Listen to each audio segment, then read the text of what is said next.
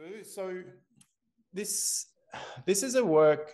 It's a meditation on on deep time, on on history, uh, and while it appears future focused, as Leo will unpack later, we very much draw upon the geological time scale in the work.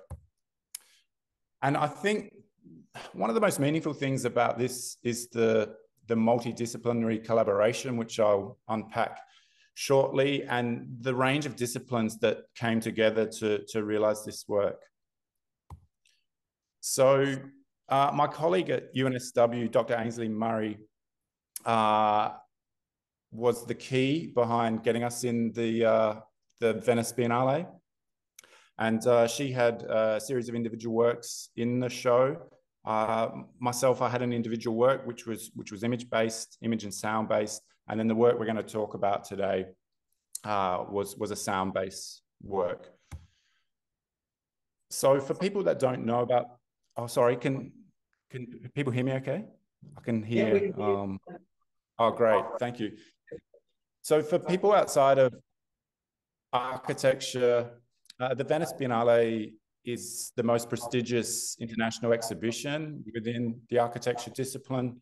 So a big deal for us. Uh, the part, the version we were part of took place at three venues. This is the Palazzo that, that our work was at, Palazzo Bembo. And um, here's a shot of the room. So what I wanted to emphasize was that the work that we're focusing on today centers on sound, but the overall composition of, of image, text, and sound within the experience of being in the room uh, was very carefully composed through the interdisciplinary collaboration uh, with my colleague and with the four of us who worked on the project. So this is just a bit of a contextual shot. The soundscape that, that we did was playing through the speakers in this room, and there were two different other works that were exploring text. And so how we thematically composed those works was was in dialogue throughout the process. So this is my colleague Ainslie's work called Registry of Itinerant Architectures, which uh, involves a website as well as uh, physical sound and image components in the space. My individual work, as I mentioned, was image and sound based, but through headphones. Um, there's a shot uh, well, a shot is on a large screen. Uh, and then uh, the team that put this work together, um, here we are, uh, quite varied. Um, Elise will talk shortly. Uh, her background is in acting and theatre and English literature. Uh, mine is in sustainability, architecture, and landscape architecture. Um, Leo, the sound guru, and um, Josephine, the award-winning uh, English lit author. And then the collaboration, as I mentioned, with Ainslie, who's, who's a visual artist and uh, an architect. And then we drew upon a greater range of disciplines um, in, in the work that, that we interpreted and, and channeled. Now, over to Elise.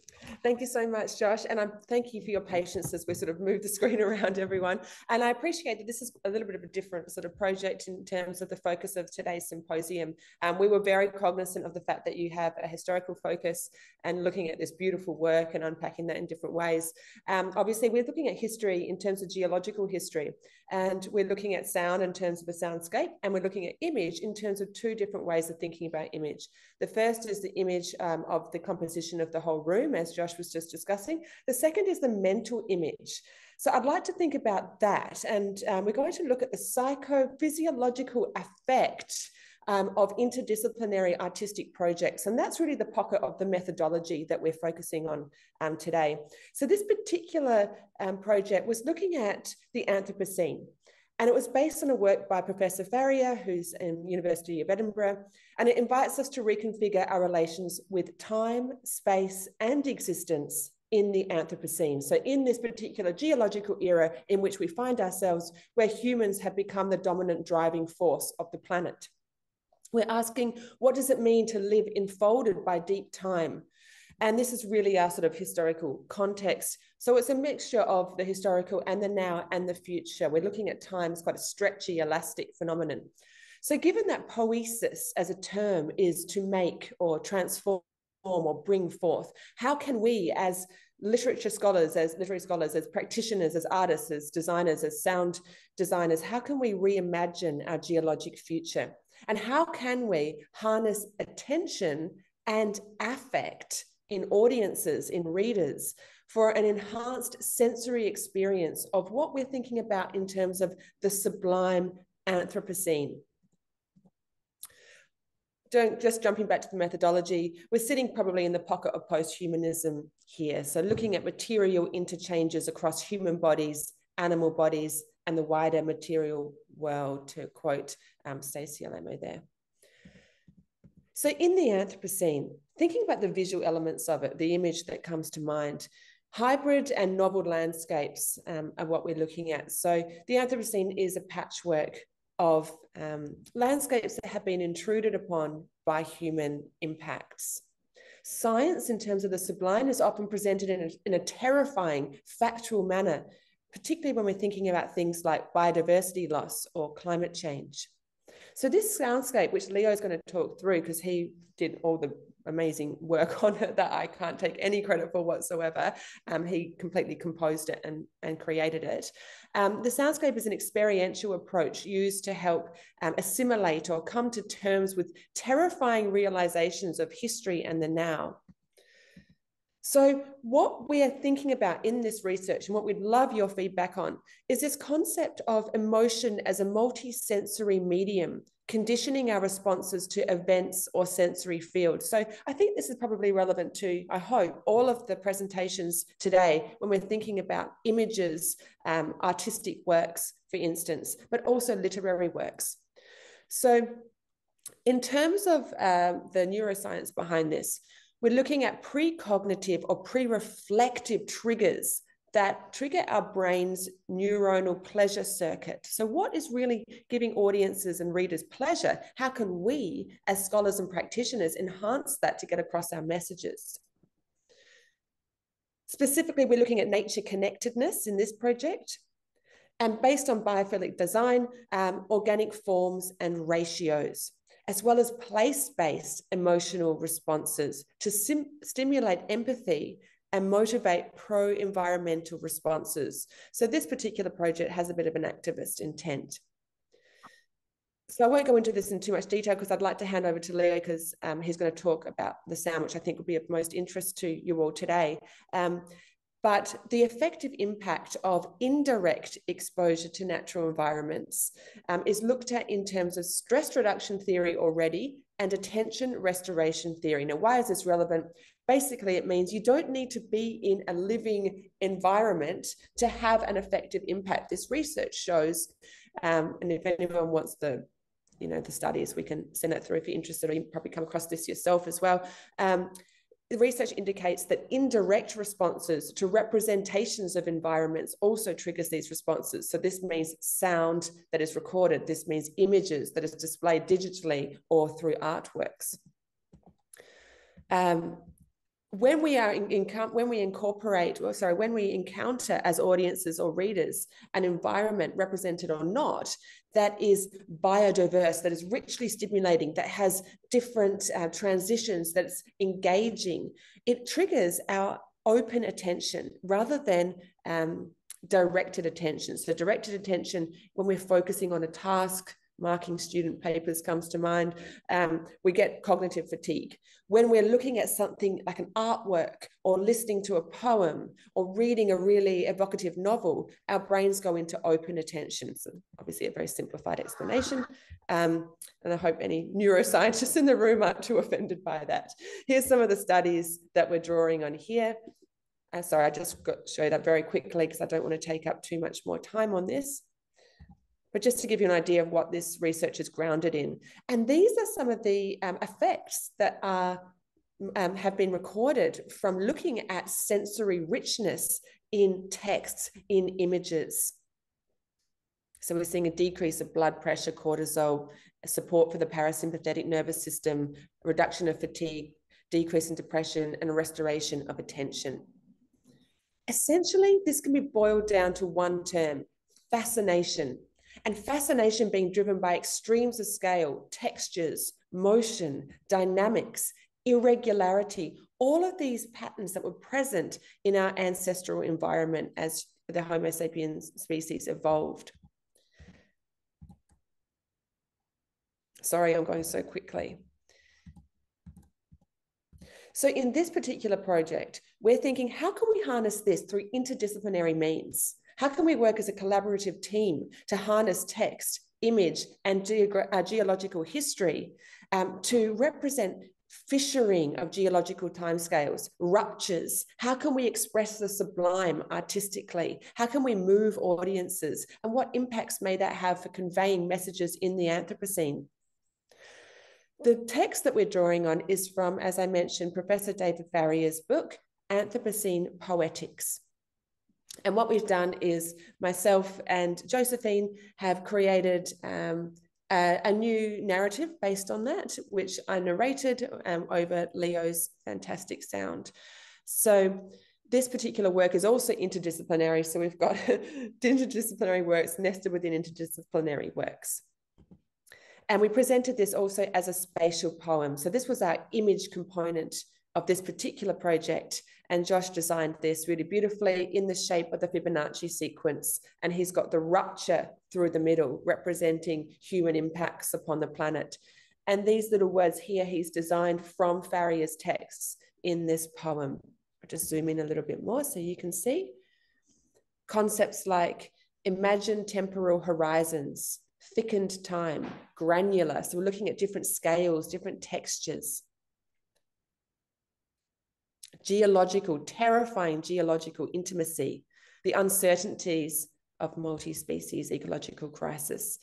So without any further ado, thank you so much again for um, your patience and your interest and uh, hearing Josh and, and I speak. And it's my great pleasure to hand over to Leo. So I'll just stop sharing my screen as Leo comes to the stage now.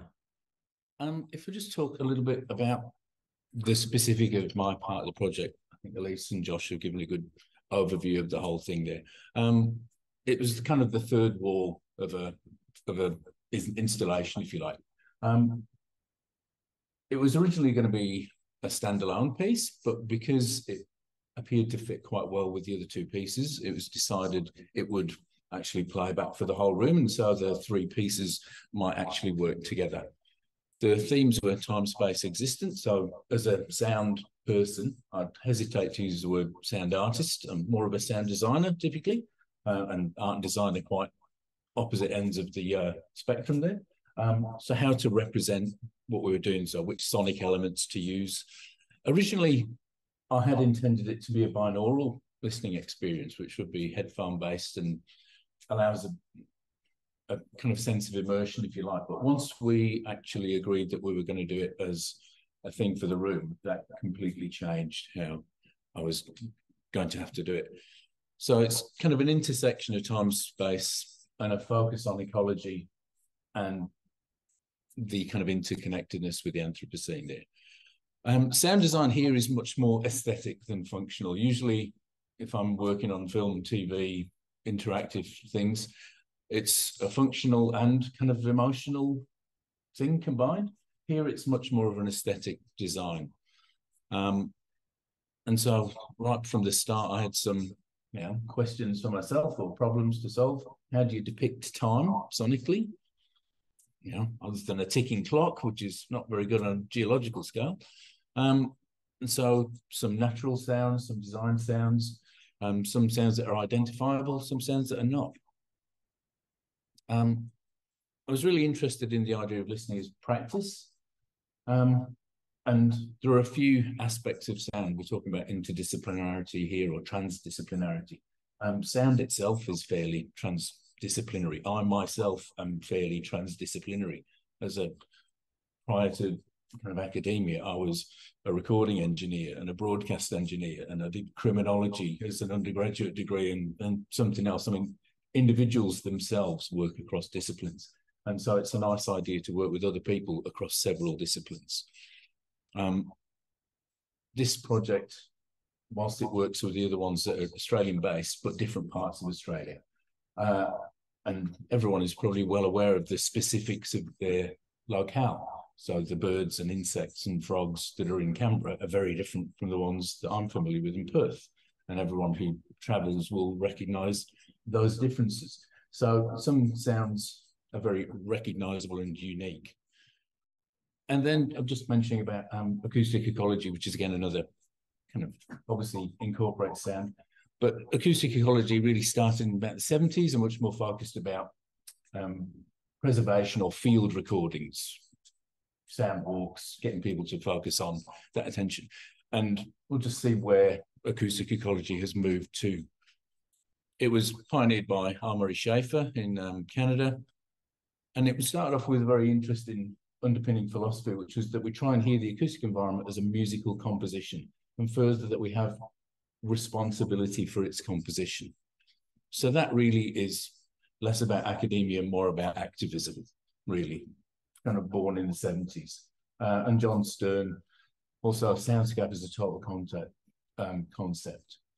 Um, for example, um, bees, frogs, and, frogs and birds um, are quite recognizable sounds in the soundscape that we created um, and become a little bit of a key signature sound of that place.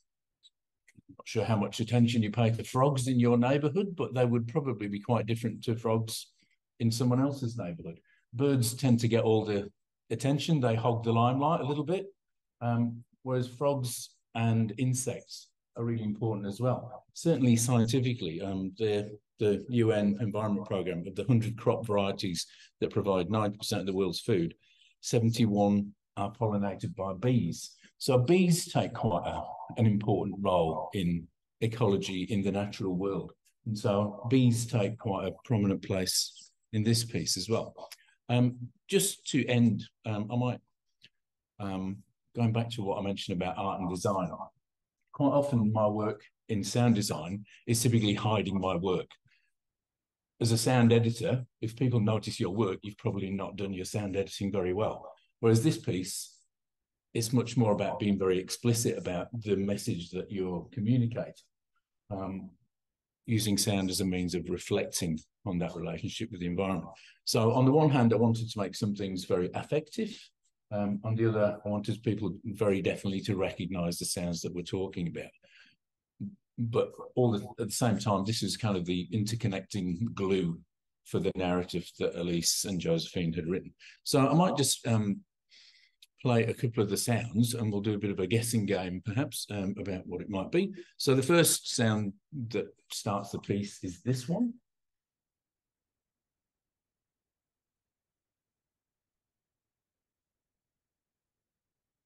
And realize it's a very difficult guessing game because I know what it is, but people may not.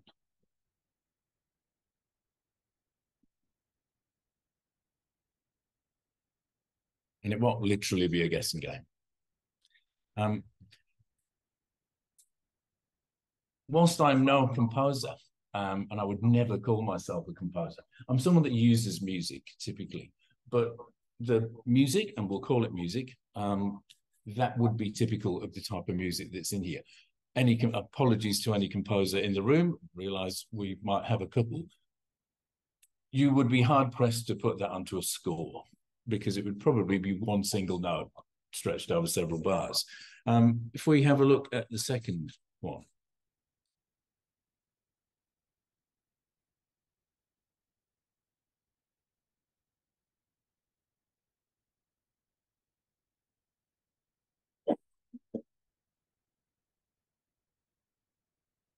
Funny enough, sneezes and coughs I could have included in my um, piece, but I didn't because I thought an audience might well add them by themselves. That you might think is wind. It sounds like wind, but it's actually um, a musical instrument playing wind. I didn't choose to use wind because it's something that's easy to recreate. And everyone's heard wind before, although when you think about it, wind is not the actual sound of air, it's the actual sound of air hitting something. Because for sound to happen, there has to be an event. Something actually must have happened or be happening for there to be sound. It's completely unlike vision. A table is still there and will still be a table as long as there's light. But it will be silent because there's no event happening. And so the differences between sound and image are quite profound quite a lot of the time.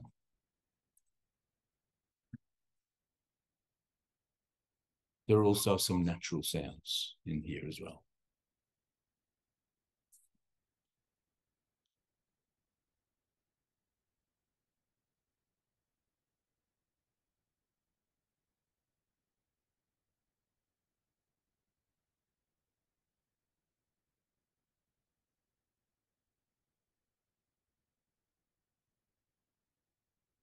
Turn that one up now. And it's very quiet, and a little bit too quiet potentially. Um, but that one is um, a recording that I'd done a few years ago now, but um, a very particular location in Western Australia, some native birds and some native frogs. There is a very good um, library of Western Australian frog sounds in the WA Museum that are particular to Western Australia and can't be heard anywhere else some of them are bizarre sounding. Some of them sound like ukuleles. Some of them sound like motorbikes. Some of them sound like birds. Um, frogs are a fantastically wonderful oral fingerprint of an area. You can recognize them. Indigenous people, certainly currently and definitely of the past, would be able to recognize the area they're in from the birds, from the insects, from the frogs that they were hearing, which are particular to that particular locale. Some of the sounds that were in there were my own composition. Some of them were my own field recordings. Some of them were other people's field recordings. And some of them were a bit more like this.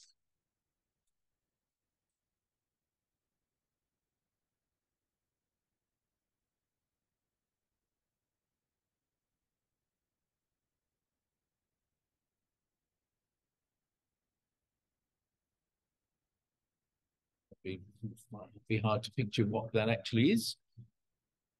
That's a sonification of data of the Earth's magnetic field um, combined with uh, lightning on Saturn um, from probes, NASA probes, I believe, that were sent out there. And on a similar similar notion, um, some of the sounds here. So that's the Earth magnetic field was a um, a European Space Agency sound, how do you represent something that you can't see? Um, and sonification has become quite an important thing. Um, just to round us off, that one might well sound like birds again. That one is actually um, the sound of Van Allen probes in the radiation belt of planets. The reason I chose that is because it sounds very much like birdsong. And some of the Van Allen probes recordings that are done from the 1970s and 1980s do genuinely sound like birdsong. And looking at data and to make a connection with it, to make it meaningful. How do you make something meaningful? In this project, obviously we've got a a desire to have to bring about some affective change with people. We were talking yesterday, it's like this is a little bit of the Arthur Dent. There are there are bigger problems. How do you communicate really really big problems to people who um, say are not yet influenced by scientific data? Um, we need some other way of doing it. So the Choix de Chanson interdisciplinary approach, we took a very similar approach those starting from a different place. It was using multidisciplinary things but starting with the problem of how to communicate this is a very very big problem and how do you see a connection with something that people can get to grips with um, to open up those imaginative horizons partly because to a scientist the focus is on the human impact of climate change if you're talking to an anthropologist or someone from humanities or social sciences it's not humans it's particular humans it's particular groups, it's particular cultures, particular political systems. And that's what should be explored a little bit more. Um, and this project, a little bit like R. Murray Schafer originally, what's the balance between academia and advocacy there? You can't just stand by and just be an academic describing the death of the planet. Um, surely there needs to be some advocacy. In terms of the sonic component, um, that auditory display, sonification of data, which some people were a bit uneasy with initially. Um, but text on screen is uh, a visual version of the same thing. Language started orally and was then then became a visual medium later.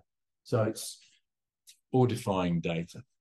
Um, in my work, certainly moving away from the natural inclination towards secrecy or hiding work and making this very explicit.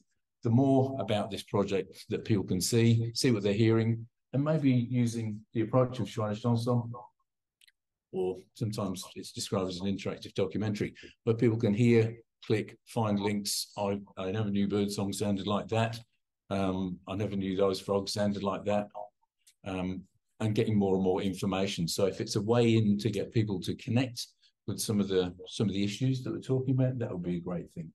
Um, there are some other um, people in Australia doing similar things. There's a really good one called Salmon Tales, which use again multiple voices, recordings of journalists, environmental data, using people reading out corporate reports um, combined with field recordings and some sound design to examine salmon fishing in Tasmania. It doesn't sound like the most fascinating topic to use as a documentary, but with those multiple inputs, it becomes a fascinating thing using these different inputs. Um, there are some additional references there um, and some of the other recordings that I used uh, and some of the other um, references are just there.